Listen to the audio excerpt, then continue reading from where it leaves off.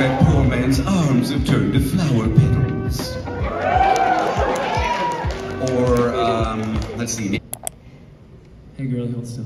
there it is again.